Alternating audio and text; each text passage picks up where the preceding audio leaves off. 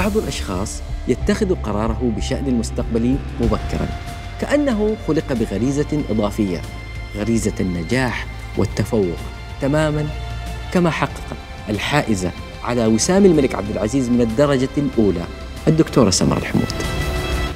اللقاء غدا الخامسة بتوقيت السعودية على ال MBC 1 رمضان يجمعنا بس خليك بالبيت.